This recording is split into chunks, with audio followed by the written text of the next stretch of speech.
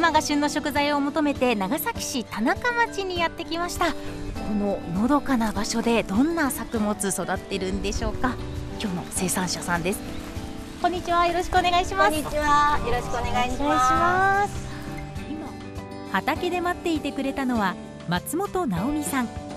長崎市で季節の果物を使ったジャムを製造販売しています老後に農業をと収納に興味を持っていた夫の啓二さんが4年前に知り合いから耕作放棄地を借り受けブルーベリーやレモンイチジクなどを育てています。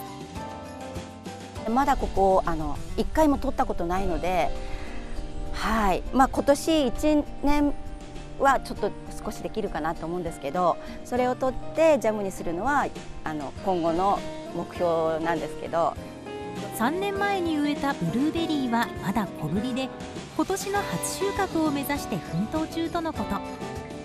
ところで今日紹介する旬の食材は？知り合いのところでちょっと用意してくださってる梅があるのでそれを、えー、いただきに今から行ってそれをうちでジャムを作りたいなと思ってます。松本さんは県内の生産者から規格外の果実などを買い取ってジャムに加工しています車で走ること5分。井出さんこんにちは。はいこんにちは今日はすいませんよろしくお願いします、はい、はい、こちらこそよろしくお願いします。梅どうですか？うん。ぼちぼち？まあまあですね。まあまあというかまだちょっと早いけどねちょっと早いですかね、うん。はい、農業を始めて半世紀以上のベテラン農家井出和義さん74歳です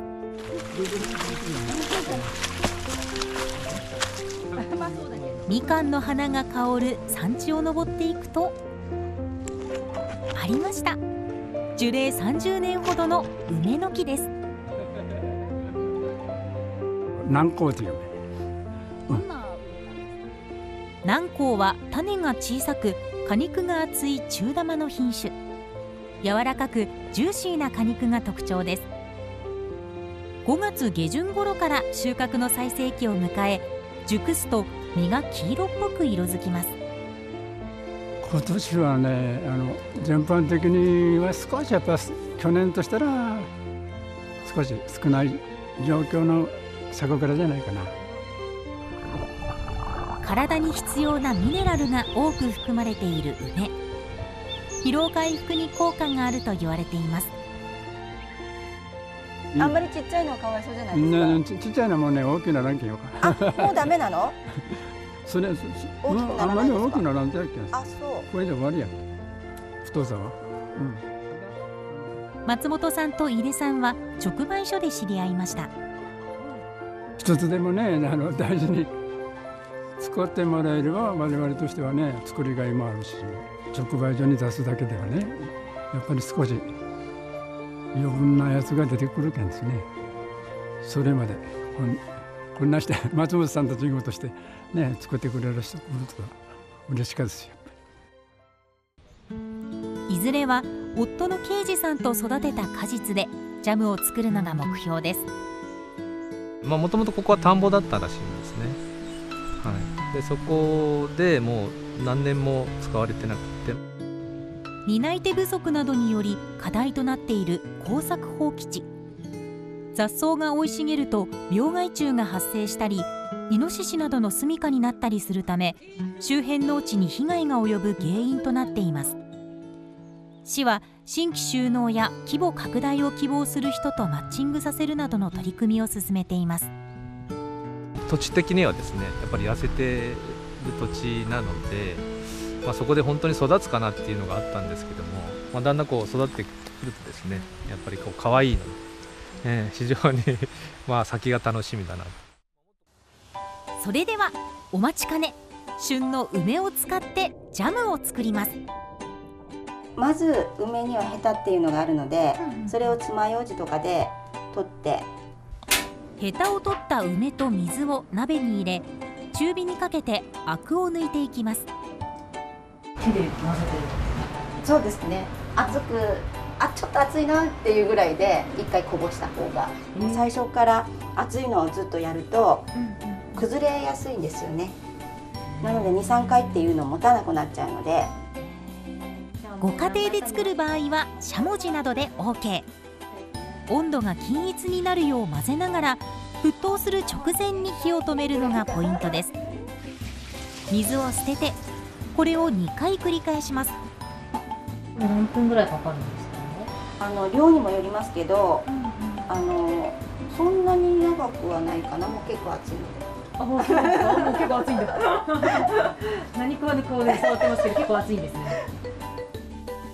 沸騰する直前に火を止めたらそのまま23時間もしくは一晩置いておきます。ふわふわ。そうですね。すごくふわふわしてます。種を取り粒が残る程度に切ったら果物自体の甘さだったり、あの味を大事にしたいので、あんまり甘すぎないように心がけてるんですね。梅の量に対して85%の量のグラニュー糖を入れます。1時間ほど置いてなじませたら強火にかけひと煮立ちしたら火を止めて瓶に詰めたら松本さんのオリジナル梅ジャムの完成です。ジャム作りする時が一番幸せなんですよね。出来たてのジャムの味は？うーん。わこうなんか梅ってちょっとこうなんていうんですか？青梅だと苦味みたいなのもあると思うんですけど、はい。それがすごくいいアクセントになっててあ暑い夏に向けてすごくこうさっぱりしそうなはい。ジャムですね、美味しい、よかった。ありがとうございます。梅ジャムでレパートリーあるんですよ。いろいろなことに入れたりとかできるのではい。楽しめると思います。ジャムといえばパンに塗るだけ。ではありません。塩コショウを振った鶏もも肉を両面焼き。油の残ったフライパンにバターと梅ジャム醤油を入れてひと煮立ちさせたら梅のソースが肉のうまみを引き立てる鶏肉のソテーです。他にも甘さ爽やかな梅のソーダを添えて梅ジャムのアレンジレシピが完成です。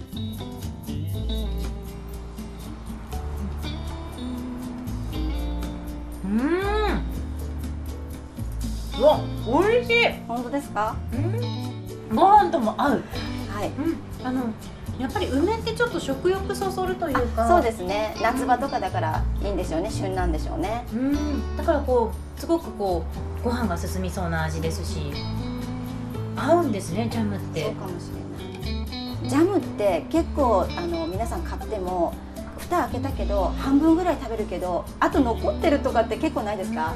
料理に入れればいいかなって砂糖も入ってるしそういうこう砂糖あの砂糖入れる料理とかああるじゃないですか。だからそういうのにちょっと試してみたのからこういう感じで。松本さんのジャムは長崎市や長与町など8カ所の JA の直売所や自宅兼工房で販売しているほか20日には長崎市本船町のアグリプラスで試食販売会を行います食べたい時に食べれるそういうのでジャムがあればいいなと思ってどんどん作りたいです。